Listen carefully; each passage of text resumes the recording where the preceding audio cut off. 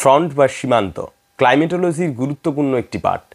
এবং এই সম্পর্কে স্পষ্ট ধারণা না থাকলে আমাদের অ্যাটমসফিয়ারিক ফেনোমেনান যেগুলো আছে, সেগুলো সম্পর্কে কারুরই পূর্ণাঙ্গ ধারণা তৈরি হয় না।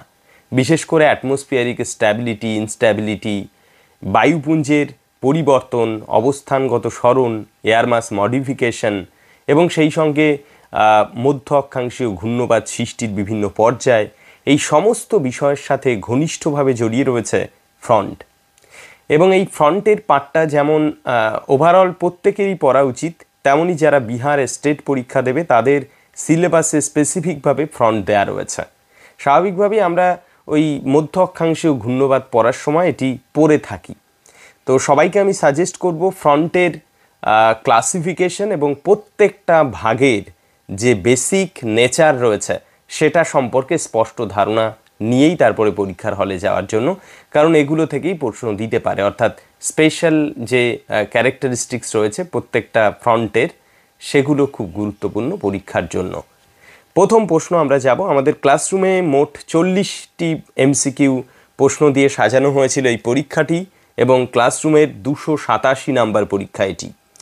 প্রথম প্রশ্ন which of the following is a characteristics of a cold front অর্থাৎ শীতল সীমান্তের। আগেই আমি বলে রাখি যে সীমান্তকে প্রকৃতিগত দিক বিবেচনা করে মূলত চারটে ভাগে ভাগ করা হয়। একটা হলো নিঃসল সীমান্ত, দুই হলো শীতল সীমান্ত, তিন হলো উষ্ণ সীমান্ত এবং চার হলো অক্লুডেড সীমান্ত।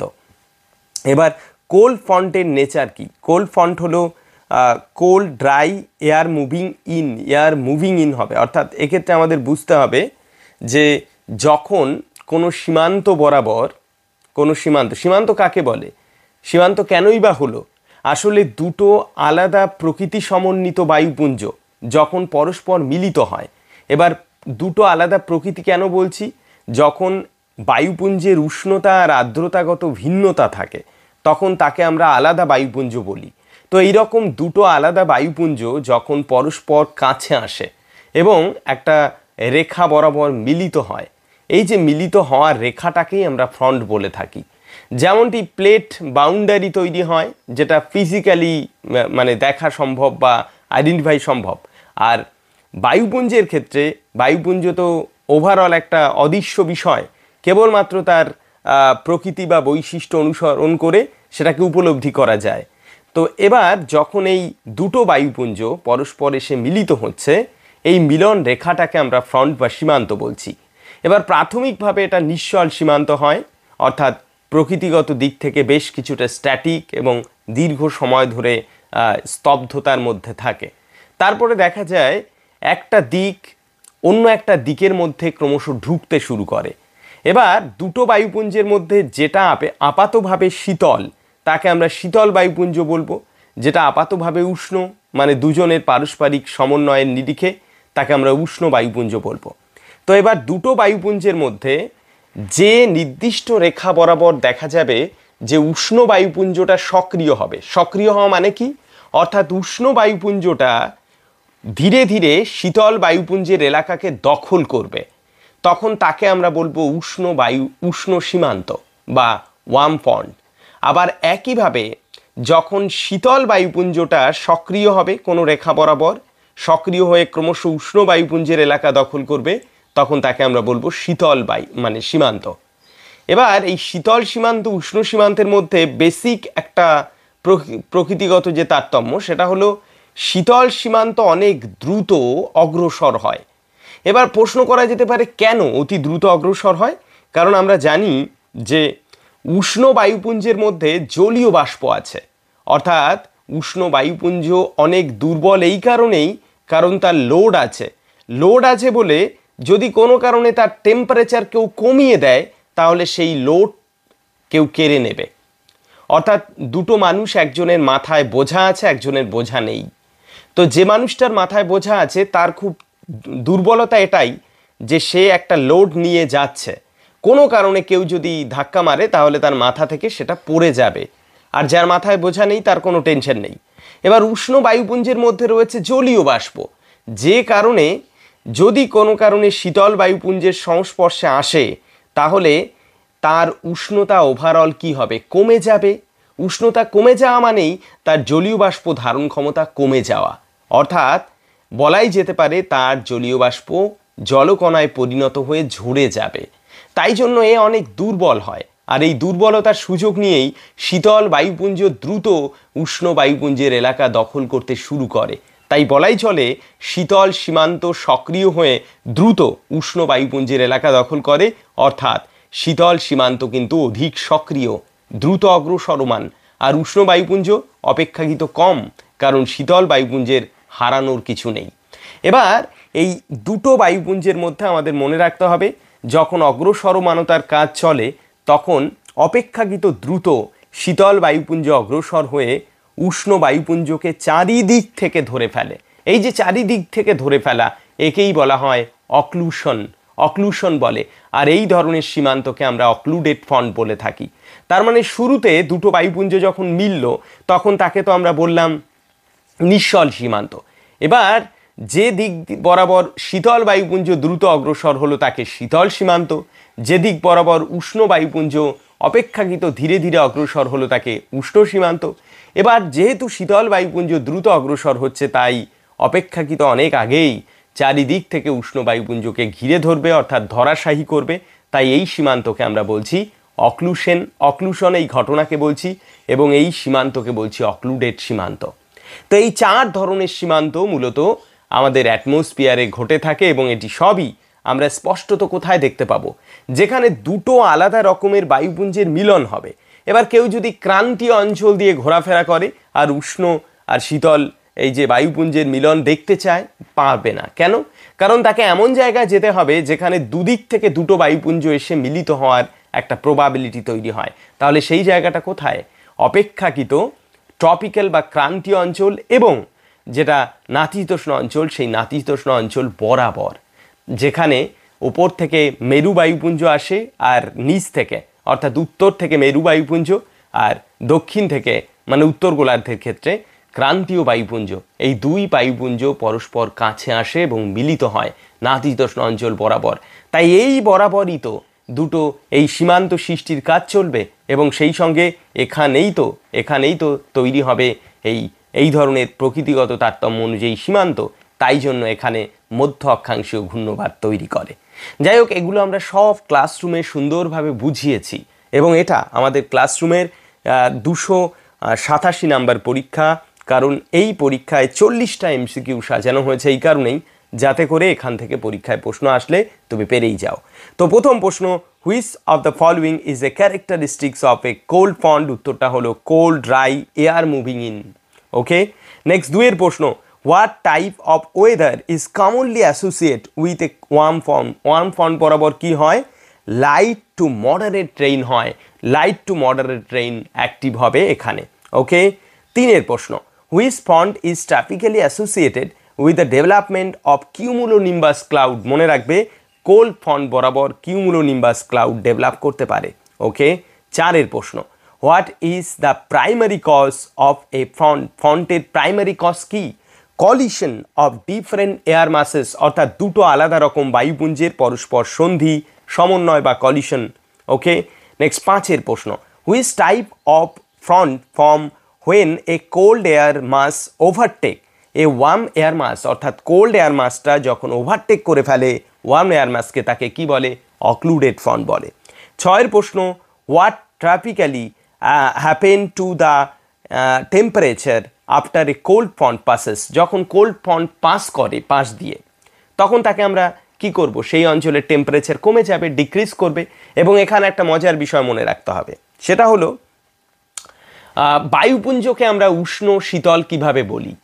ধরো যে সারফেসের ওপর দিয়ে বায়ুপুঞ্জ অপসারিত হচ্ছে মানে স্থানান্তরিত হচ্ছে, সেই সারফেসের তুলনায় যদি বায়ুপুঞ্জ উষ্ণ হয়, তাহলে তাকে আমরা উষ্ণ বায়ুপুঞ্জ বলব। যদি সেই সারফেস অপেক্ষা বায়ুপুঞ্জ শীতল হয়, তাহলে তাকে শীতল বায়ুপুঞ্জ বলব। অর্থাৎ আমরা আট সারফেসের উপর রয়েছি। আমার আমি যেখানে রয়েছি সেখানে টেম্পারেচার তিরিশ ডিগ্রি সেলসিয়াস। এমন একটা বায়ুপুঞ্জ আসলো যার উষ্ণতা বাইশ ডিগ্রি সেলসিয়াস। তাহলে সেটি আমার এই অঞ্চলের টেম্পারেচার কমিয়ে দিচ্ছে। তার মানে সেটি কোন বায়ুপুঞ্জ? সেটা শীতল বায়ুপুঞ্জ। আবার একইভাবে যদি আমার এখানে তিরিশ ডিগ্রি, অথচ এমন একটা বায়ুপুঞ্জ আসলো যার উষ্ণতা চল্লিশ, তাহলে সেটা হলো উষ্ণ বায়ুপুঞ্জ। তাই কোনো স্থানের নিরিখে আমরা বায়ুপুঞ্জকে এইভাবে ক্যাটাগরি ওয়াইজ ভাগ করি, উষ্ণ বায়ুপুঞ্জ, শীতল বায়ুপুঞ্জ। সবাইকে আমি সাজেস্ট করব অ্যাটমসফিয়ারিক স্ট্যাবিলিটি ইনস্ট্যাবিলিটি খুব ভালো করে বোঝার জন্য। কারণ এগুলো বুঝ, না বুঝলে কেউ ক্লাইমেটোলজির কোর বিষয় উপলব্ধি করতে পারবে না। ক্লাইমেটোলজির কোনো বিষয় নেই যে বিষয় মুখস্থ করার উপযোগী, কিচ্ছু নেই। প্রত্যেকটা বিষয় বুঝে বুঝে লজিক্যালি বুঝে বুঝে তারপরে পড়তে হবে। যেভাবে সিস্টেমেটিকভাবে আমরা ক্লাসে ক্লাস করাই, যাতে করে প্রত্যেকে প্রত্যেকটা অংশ বুঝে নিজেকে প্রিপেয়ার করতে পারে।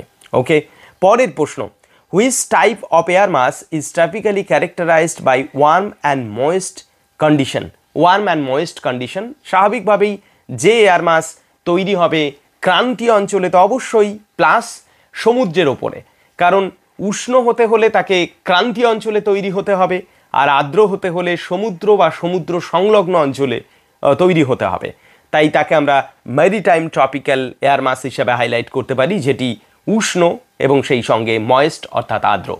এবং এক্ষেত্রে আমাদের এয়ার মাস মডিফিকেশন বুঝতে হবে প্লাস এয়ার মাসের উৎস অঞ্চল সম্পর্কে ধারণা রাখতে হবে। আমরা জানি যে এয়ার মাস যে সুনির্দিষ্ট অঞ্চল থেকে উৎপত্তি লাভ করে, যে অঞ্চলটা এক প্রকার বিস্তীর্ণ এলাকা জুড়ে একক এবং অপরিবর্তনীয় এক অঞ্চল। সেই অঞ্চলটা থেকেই কিন্তু এয়ার মাস ডেভেলপ করে। যেমন একটা মরুভূমি থেকে হতে পারে, যেমন বিস্তীর্ণ সমুদ্র থেকে হতে পারে। এই রকম কোনো সুনির্দিষ্ট ভূখণ্ড যেটা এককভাবে অবস্থানরত, সেই জায়গা থেকে জন্ম নেয় এয়ার মাস যাকে আমরা এয়ার মাসের উৎস অঞ্চল বলি। এয়ার মাস উৎপত্তি লাভ করে স্থান পরিবর্তন করে। স্থান পরিবর্তন করার সময় যে অঞ্চলের ওপর দিয়ে যায়, সেই অঞ্চলের উষ্ণতার সাথে সে একটু একটু করে সমন্বয় সাধন করতে করতে যায়। যদি যে অঞ্চলের ওপর দিয়ে যাচ্ছে, সেখানকার উষ্ণতা এয়ার মাসের উষ্ণতা থেকে কম হয়, স্বাভাবিকভাবেই কি হবে? দেখা যাবে যে উষ্ণতার সমবন্টনজনিত কারণে দেখা যাবে এয়ার মাসের উষ্ণতাও কিন্তু একটু কমে যাবে। তো এই কাজটা চলতে চলতে চলতে চলতে এয়ার মাস একটা জায়গা থেকে অন্য জায়গায় মুভ করে। একেই আমরা এয়ার মাস মডিফিকেশন বলি, যারও আবার ভাগ আছে। এয়ার মাস মডিফিকেশনের দুটো রূপ রয়েছে। অবশ্যই সেগুলো যদি কারোর আয়তায় থাকে, তাহলে কমেন্ট সেকশনে জানাতেই পারো।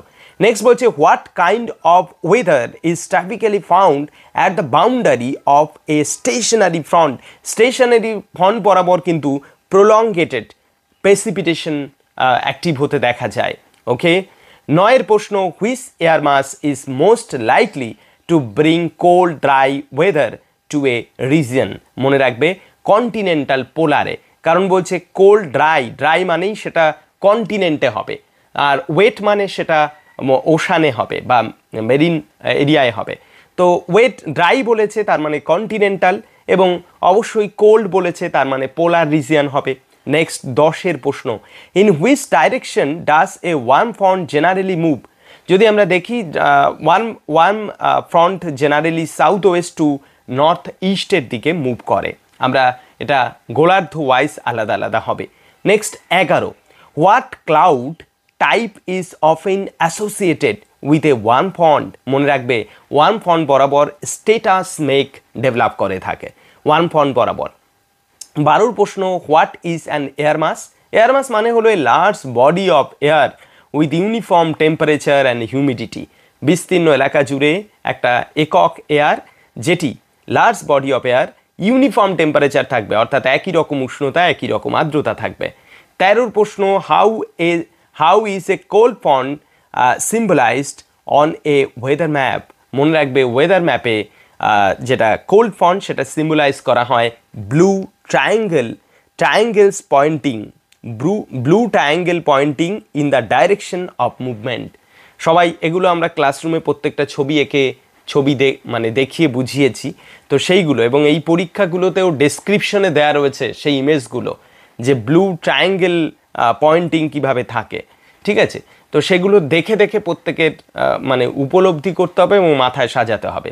তো কোল্ড ফন্টের ক্ষেত্রে ব্লু তো হলো, আর যদি আমরা ওয়ান ফন্টে চাই which type of front can let lead to the formation of mid latitude cyclone স্বাভাবিকভাবেই অক্লুডেড ফন্ট অক্লুডেড ফন্ট কোন পর্যায়ে তৈরি হয়? মধ্য অক্ষাংশীয় ঘূর্ণবাতে ভীষণ গুরুত্বপূর্ণ প্রশ্ন। মনে রাখবে, পঞ্চম পর্যায়ে তৈরি হয় অক্লুডেড ফন্ট ছটা পর্যায়ের মধ্যে দিয়ে মধ্য অক্ষাংশীয় ঘূর্ণবাতের বিবর্তন হয়ে থাকে। পনেরো প্রশ্ন হোয়াট ইজ এ কি characteristics of a stationary front stationary front কি হয়? It remains in one place for an extended period অর্থাৎ একটা জায়গায় অনেক সময় ধরে সে কিন্তু থাকে। যেমনটা নিশ্চয় যেমনটা উষ্ণ শীতল সীমান্ত থাকে না। ঠিক আছে? নেক্সট ষোলোর প্রশ্ন which of the following best describe the process of frontogenesis frontogenesis মানে the formation of a new front okay movement movement speed of cold front compare to a warm front স্বাভাবিকভাবেই cold front move faster than warm front আঠেরোতম প্রশ্ন what is the primary factor that differentiate air masses temperature and humidity উনিশের প্রশ্ন which of the following process is primarily responsible for the formation of an occluded front মনে রাখবে cold front overtaking a warm front এটাই হলো occluded ফন্টের বৈশিষ্ট্য। আর কুড়িতম প্রশ্ন, সকলের উদ্দেশ্যে। The mature stage of mid latitude cyclone what is the typical arrangement of the warm cold and occluded front অবশ্যই কমেন্ট সেকশনে জানাতেই পারে। প্রশ্ন আমাদের মূল ক্লাসরুম চল্লিশটা প্রশ্ন দিয়ে সাজানো। আমাদের ক্লাসরুমে যেমন সিস্টেমেটিকভাবে প্রত্যেকটা সাব ইউনিট ধরে ক্লাস হয়, আবার একইভাবে প্রত্যেকটা সাব ইউনিট ধরে পরীক্ষা সাজানো হয়। আমাদের ক্লাসরুমের মুখ্য উদ্দেশ্য জিওগ্রাফিকে নিয়ে যে কোনো টিচিং প্রফেশনের জন্য প্রস্তুত করা। যাদের ইচ্ছে রয়েছে ভূগোলকে ফিল করে, উপলব্ধি করে পুরো ভূগোলের দক্ষতা অর্জন করা, তারা আমাদের ক্লাসরুমে অ্যাডমিশন হতে পারে।